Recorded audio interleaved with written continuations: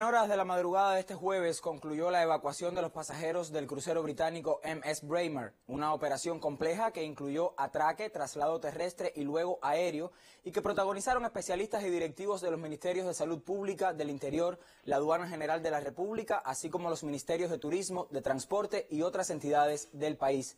La operación incluyó a más de 600 pasajeros, entre ellos cinco confirmados positivos a la COVID-19. Cuatro aeronaves de la aerolínea British Airways garantizaron el traslado de los cruceristas.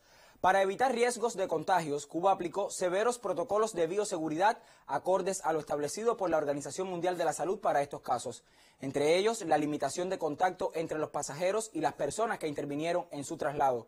Además, el empleo de vestuario especial y personal altamente calificado.